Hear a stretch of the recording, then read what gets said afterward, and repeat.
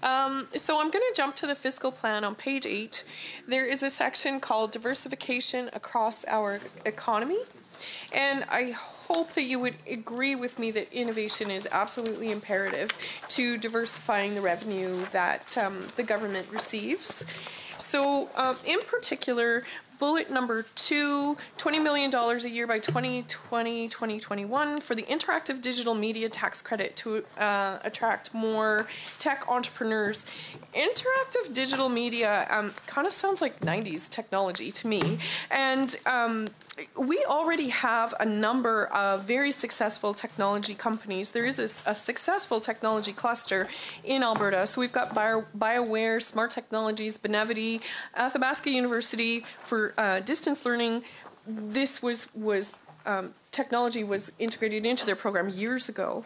So what um, like how I'm not sure where the innovation is in this and how the next generation tech innovators are going to be inspired by this particular stimulus that targets the last generation set of platforms. Sure. It's uh, very much targeted at those that are existing in Alberta today and making sure we hang on to those and they don't leave Alberta. Uh, as I said before, they're being attracted to places like Quebec and Ontario by uh, similar or more or uh, uh, similar kinds of tax credits.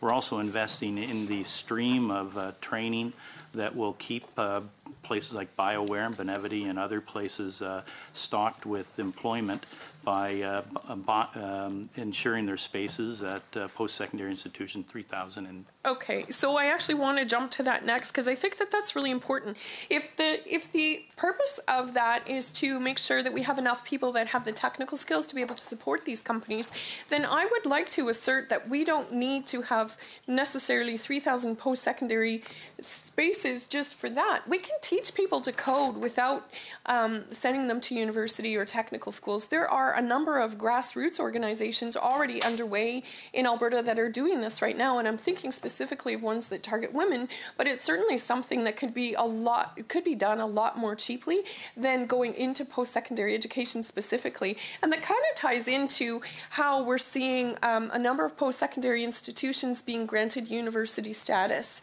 and it's a concern because companies like Benevity they need more than the technical people. They need accountants, they need HR people, they need paralegals. Grant MacEwan, in specific, um, has a paralegal program. Once they become a university or degree granting, my concern is definitely that those two year programs that train people uh, to get a job right away will disappear in favor of higher revenue for the post secondary institution.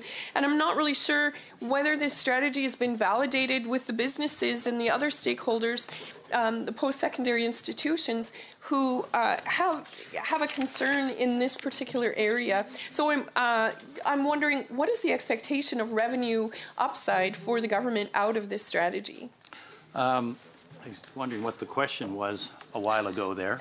Um, I can tell you that uh, this strategy uh, was the result of the Economic Development and Trade Minister, the Advanced Education Minister, working very closely with the current industry in Alberta and uh, the post-secondary institutions. So the upside for the province of Alberta will be uh, those businesses that uh, take advantage of of uh, the 25% eligible labor costs through this tax credit, staying here in this province, investing in this province, and uh, obviously their workers uh, staying uh, Alberta citizens and, and paying taxes here. What I'd really like the government to, um, I'd like to encourage the government to do is to take a look at those organizations who are up and coming and who are actually innovating. What I see here is a strategy that focuses on those companies that are already mm. established, mm. and and I take your point that there is a concern about them leaving the, the province, but I don't know if that's necessarily going to be the most effective strategy